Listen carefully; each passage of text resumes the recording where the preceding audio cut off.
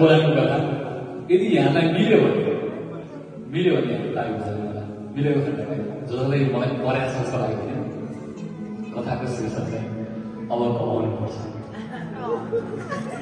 मुकुलजी गान्छ मुकुलजी। अब कमाउनु पर्छ है। अब कमाउनु पर्छ खुब कमाउनु पर्छ कमाएर खुब रमाउनु पर्छ अब त पैसा कमाउनु पर्छ अब त पैसा कमाउनु पर्छ खुब कमाउनु पर्छ कमाएर खुब रमाउनु पर्छ अब त पैसा कमाउनु पर्छ। नेपालमा उस्तै हो भ्रष्टाचार गर्ने कसरी नेपालमा उस्तै हो। भ्रष्टाचार गर्ने पनि ठग्ने कसरी मेहनत गरेर कमाउनु त विदेश नै खाउनुपर्छ अब त पैसा कमाउनु पर्छ खुब कमाउनु पर्छ कमाएर खुब रमाउनु पर्छ। खाडी जाउँ यत्रो पढाछ मनले मान्दैन। खाडी जाउँ यत्रो पढाछ मनले मान्दैन।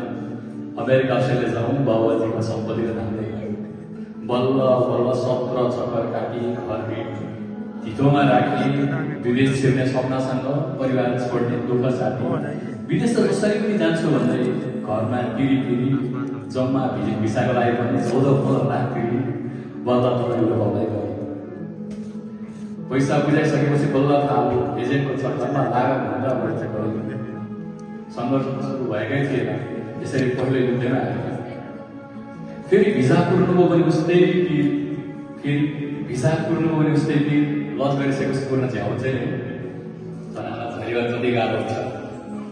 शिरमा रहेको कपाल बन्न सजिलो हुँदो हो। प्रतीक्षाको दिनमा त्यति गाह्रो लाग्दै थियो। जति जति भिजाको विषय आउला भने फेरि त्यति धैर्यका मबाट टाढा भाग्दै थियो। प्राय शान्त बस्ने प्रति दिनहरूमा अशान्तको आगो जाग्दै थियो। युद्ध जित्दै जस्तै लाग्यो। जित्दै जस्तै लाग्यो। अझ सबैभन्दा मेरो बलियो दुश्मनलाई पिटे जस्तै लाग्यो। जब थाहा पाएँ विधान